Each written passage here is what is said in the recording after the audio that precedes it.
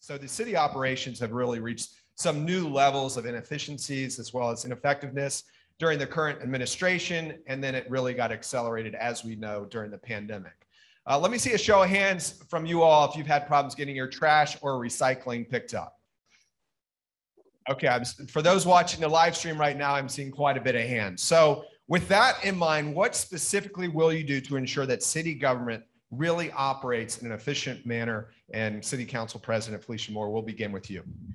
Yes, I love that question because yes, I've had trouble and I've gotten plenty of calls from constituents related to just the basic city services. And let me tell you, it's dysfunctional, they're mismanaged, and we have been putting Band-Aids on it for many years. And this has been through many administrations. And so now we're at a critical point where our foundation is crumbling. What I'm going to do is go in and do a deep dive assessment. I, I know we do the big things great in Atlanta, building stadiums and those kinds of things. But what we haven't had is a mayor that is really ready to get in the weeds and deal with those operational issues that we need to deal with.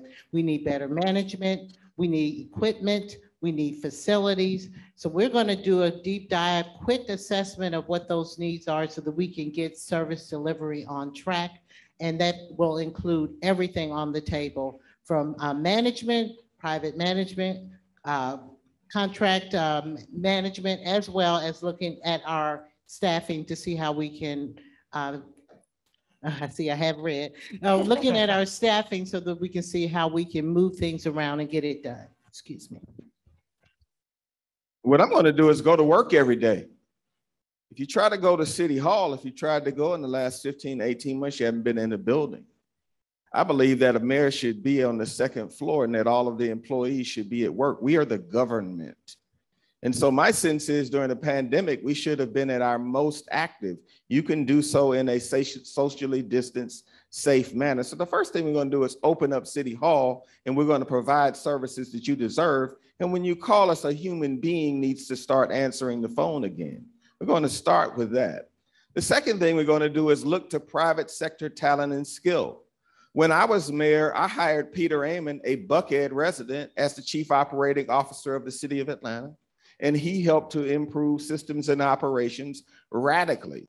We had on-time trash pickup, on-time debris pickup between the 88% to 92% range. So we need to bring in private sector talent and we need to get back to work.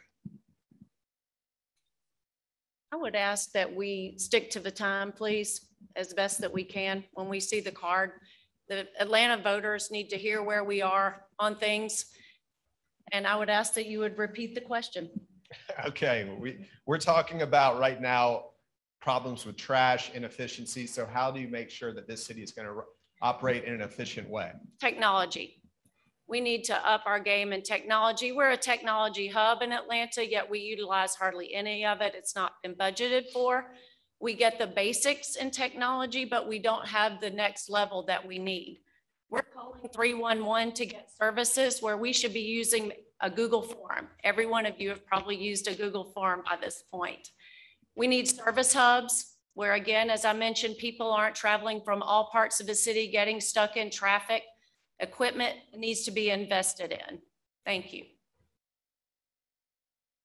When Shirley Franklin was elected, I was involved in her transition, and I remember saying to her, ask for more help from the business community than you think you can get because everyone wants you to succeed.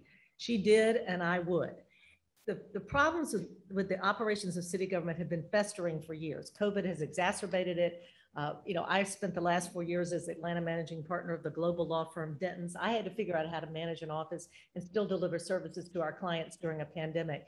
And we need to get City Hall open and back to work.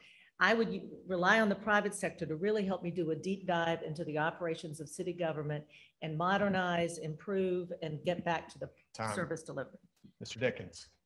Yeah, so as a city council, uh, we have approved budgets that allow for all of these activities to take place. So now I want to be mayor and I want to use my engineering technology to be able to provide an optimized system that improves on what we have today.